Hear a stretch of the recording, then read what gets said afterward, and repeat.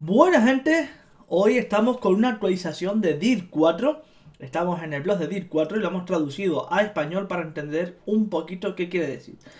Aquí nos habla de que esta actualización nueva está principalmente dirigida al equipo de carreras Como contratar y despedir al personal La marca de sus vehículos con su propia... Eh, eh, diseño, supongo, y patrocinio y ofertas, la mejora de sus instalaciones para que pueda ampliar el impacto de su equipo y rendimiento.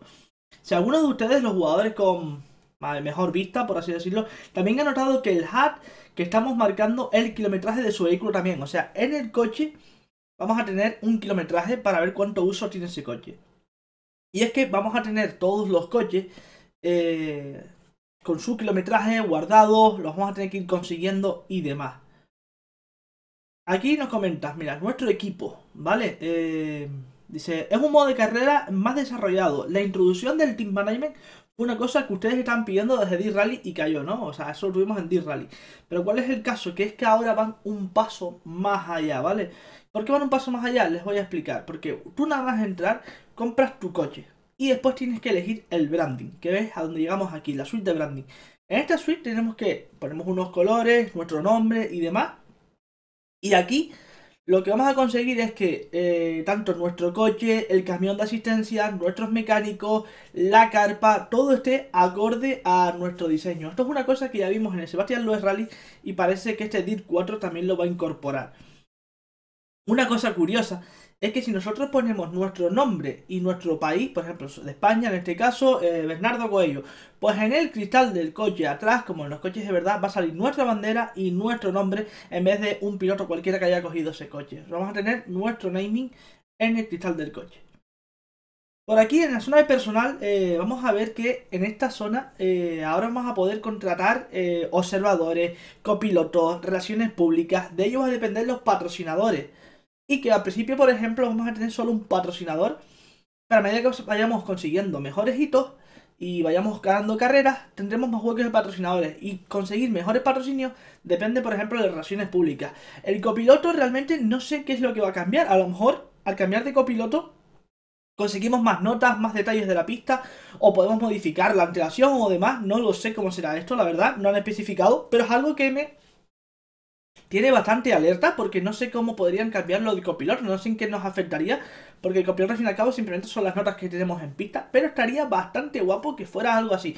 Empiezas con un copiloto básico, eh, normal, como empieza cualquier piloto con un copiloto de amateur, por así decirlo, y a medida que vas escalando puedes conseguir mejor copiloto estaría guapo que tuviese las notas eh, más detalladas.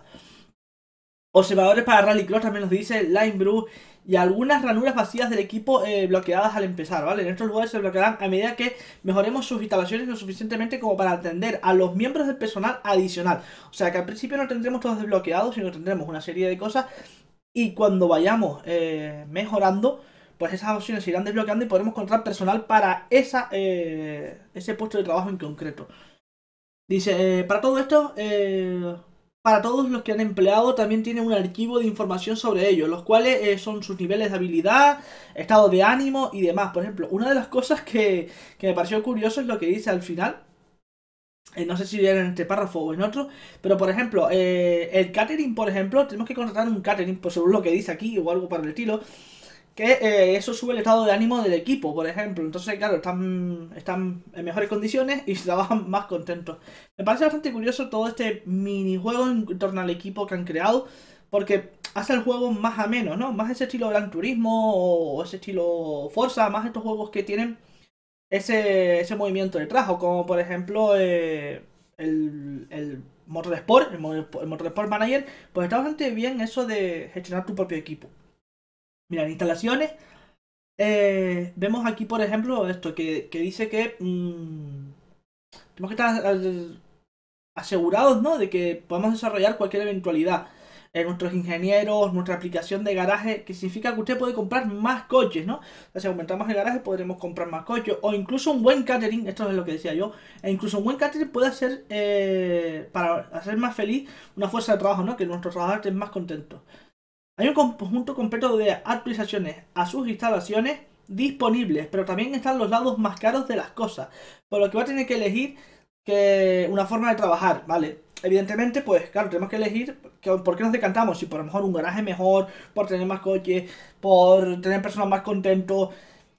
Supongo que el dinero al final cuando desarrollemos mucho nos hará para todo, pero al principio tendremos que elegir si a lo mejor irnos por la rama de personal o irnos más por comprar un coche mejor. Al fin y al cabo tenemos unos recursos y hay que buscar dónde destinarlos.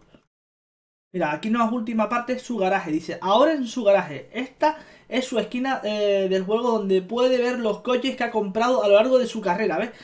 en el garaje se van acumulando los coches. Y también pueden ver las estadísticas vitales sobre sus vehículos. Estadísticas vitales sobre sus vehículos. Yo entiendo el kilometraje, ¿vale? Que es lo que decían antes que se podía ver. Mira, ves su kilometraje, sus especificaciones, cuántas veces el coche ha sufrido daños terminales e incluso cuántos podios ha manejado para embolsarse al volante. O sea, el coche vamos a poder ver todo, en plan, cuántas veces ha siniestrado ese coche, cuántas veces lo hemos tenido que reparar, eh, cuántos kilómetros ha hecho el coche, eh, carreras que hemos ganado con él y podios y demás.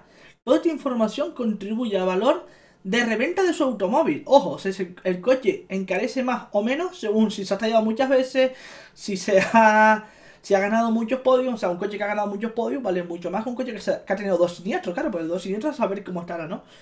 O sea, la verdad que me ha dejado flipando esta entrada en el blog, he estado leyendo y me parece increíble. Me parece que todo este minijuego que tiene detrás, este modo historia, está realmente bien. Dice, y cuando tienes suficiente dinero para tu próximo coche, tienes dos lugares disponibles para examinar tu próximo vehículo. Todo el terreno en el concesionario y los clasificados.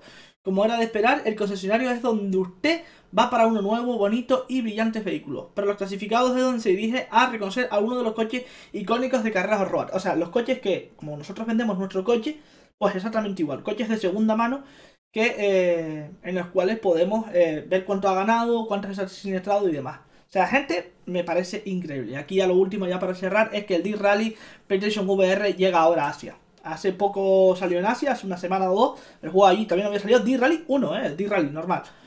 Eh, y ahora ya tienen también soporte VR. Gente, lo dicho, esperando este DIR 4 como agua de mayo. Recordad que aquí debajo tenéis un enlace para participar en un sorteo para una key de DIR 4 que se sorteará con el lanzamiento del juego que se espera que sea el 6 de junio. Gente, nos vemos en siguientes vídeos. Si no estáis suscritos al canal, suscribiros, dejar vuestros comentarios en la caja de comentarios y nos vemos en siguientes vídeos. ¡Chao!